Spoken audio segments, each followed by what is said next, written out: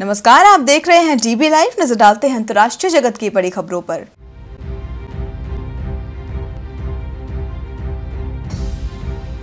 Donald Trump ने America के 45वें राष्ट्रपति के तौर पर ली शपथ। अमेरिका फ़र्स्ट का दिया नारा। इस्लामिक आतंकवाद खत्म करने की भी कही बात। ट्रंप विरोधियों का हिंसक प्रदर्शन।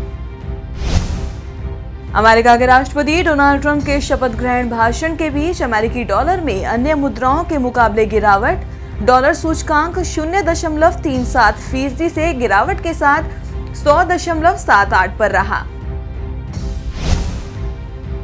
अमेरिका के नवनियुक्त वित्त मंत्री ने कर में कटौती का किया ऐलान।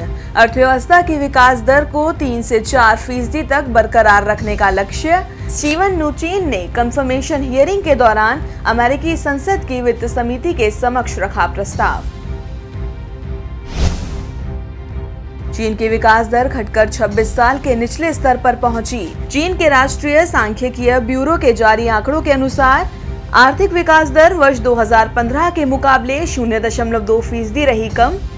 2015 में प्रति व्यक्ति आय का प्रतिशत सात दशमलव चार, जबकि 2016 में प्रति व्यक्ति आय छह दशमलव तीन प्रतिशत रही।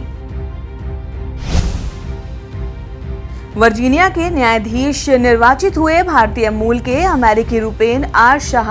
रुपेन इस पद पर आसीन होने वाले बने पहले भारतवंशी। शाह टाउन सिटी के निवासी हैं और वर्जीनिया के न्यायाधीश के रूप में उनके छह वर्षों का कार्यकाल एक फरवरी से होगा शुरू। अफ़गानिस्तान के कंधार में आतंकी हमला। हमले में 16 पुलिस कर्मियों की मौत। आतंकवादियों ने निवांद ज़िले में एक पुलिस चौकी पर बोला था धावा।